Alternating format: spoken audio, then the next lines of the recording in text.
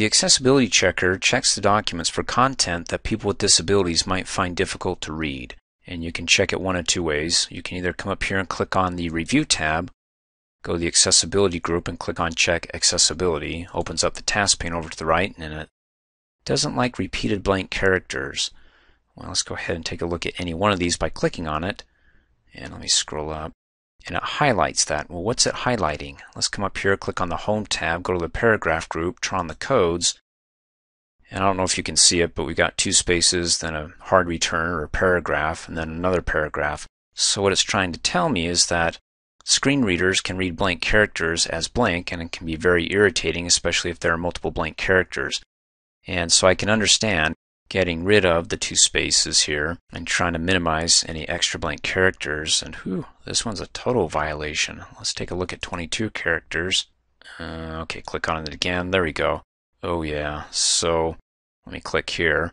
When I'm at the bottom of page 3, instead of doing a page break, I just hit enter, enter, enter several times to get to the next page. So yeah, that can be very irritating.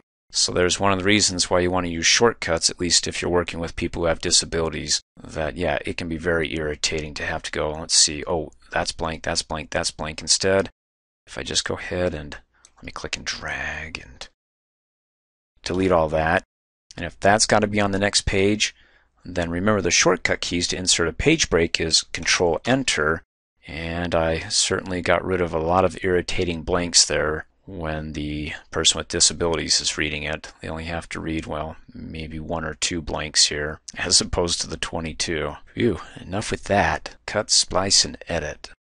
And, let me go ahead and close out. If you're backstage, click on File. Info is selected by default, so just come down here and check for issues.